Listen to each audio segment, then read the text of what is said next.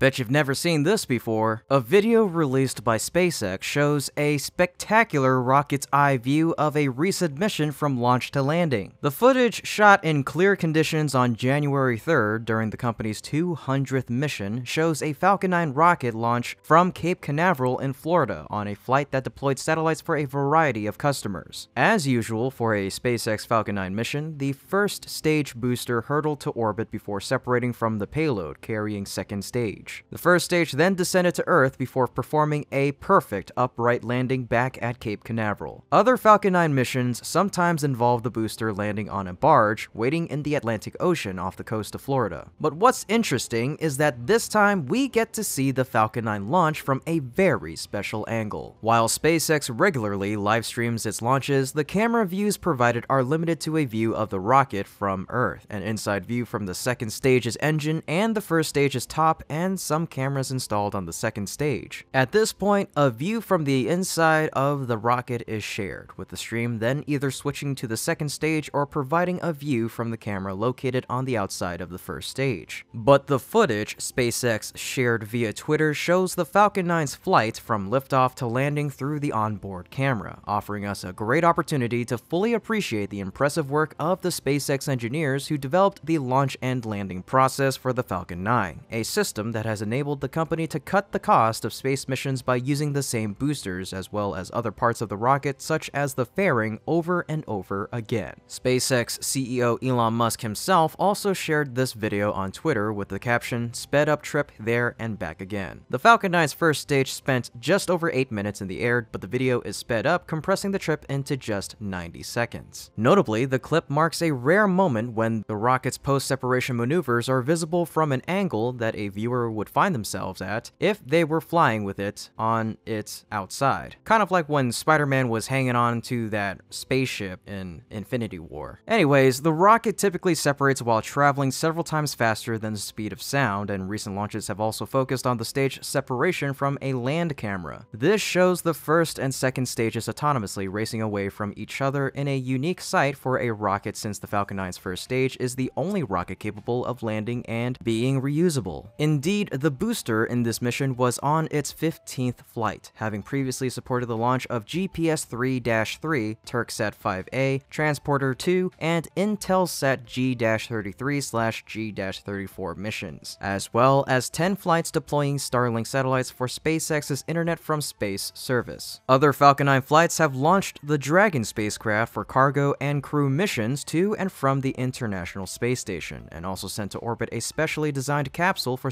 SpaceX's first all-civilian mission in 2021. Over the years, SpaceX has increased the times it reuses its rockets after conducting refurbishments during pre-planned time durations in their lifetime. Recent launches have also increased the number of times that views from the ground cameras show the first and second stages separating from each other. This often shows both of them surrounded by the plume of exhaust from the first stage from its engines that ensure it can safely fly away from the second stage. And most recently, SpaceX has successfully completed its second launch for OneWeb, a London-based communications company carrying 40 of the company's small communications satellites into orbit. SpaceX's Falcon 9 rocket lifted off from Cape Canaveral Space Force Station or the CCSFS, Launch Complex 40 pad at 11.50 Eastern on Monday, January 9th. The rocket performed perfectly, extending Falcon 9's record-breaking streak to 168 launches since its last failure. Mind you, no rocket in history has launched more times between failures. Flying for the second time in 44 days, Falcon 9 booster B-1076 supported the boost phase of OneWeb's 16th launch, lifting the payload, fairing, and an expendable Falcon upper stage most of the way out of Earth's atmosphere atmosphere. Traveling about 1.7 kilometers per second at an altitude of 70 kilometers, B-1076 separated from the upper stage and boosted back to the Florida coast. Measuring around 48 meters tall and 3.2 meters wide, the Falcon 9 first stage gently touched down a few miles from where it lifted off at SpaceX's LZ-1 landing pad. According to Next Spaceflight, B-1076 will be converted into a Falcon Heavy side booster to support EchoStar's Jupiter 3 communications satellite launch as early as May of 2023. Once in orbit, Falcon 9's expendable upper stage was tasked with deploying 40 new OneWeb satellites in batches of three, wrapping up around 95 minutes after liftoff. Assuming all F-16 satellites are healthy, OneWeb will have 540 working satellites in orbit. Less than a day after deploying 40 OneWeb satellites, SpaceX also conducted its first launch of Starlink internet satellites this year. It's also the first launch of the year from Vandenberg. The mission debuts a brand new Falcon 9 booster designated B-1075, making its first flight to space. The 15-story tall first stage booster fires about two and a half minutes before separating to begin a descent toward SpaceX's drone ship.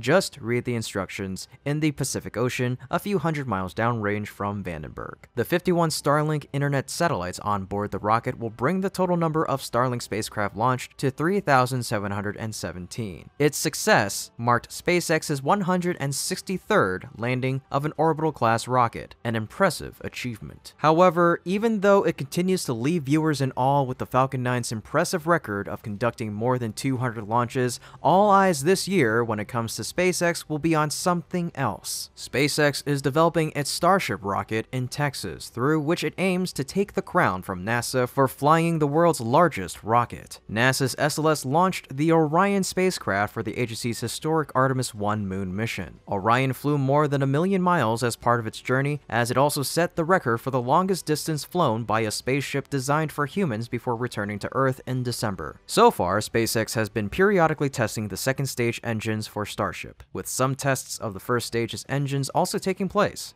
These are part of its efforts to conduct a highly anticipated orbital test flight, but with Starship yet to perform crucial tests, such as a wet dress rehearsal and a full static fire of the first stage Super Heavy Booster's 33 engines, it still has a long way to go. Once it completes all of these tests as well as receive the launch permit from the FAA, Starship's maiden orbital flight will lift off from Starbase. SpaceX's CEO Elon Musk recently said that his team has a real shot for the launch mission in late February and that another attempt in March is highly likely. However, Musk's prediction must be taken with a pinch of salt, as always, because SpaceX has so far failed to launch the rocket on several deadlines that its CEO has set ambitiously. This has been Kevin with Great SpaceX, and if you enjoy what my team and I are doing, you can become a patron through our Patreon link in the description below. Otherwise, as always, my team and I will see you next time.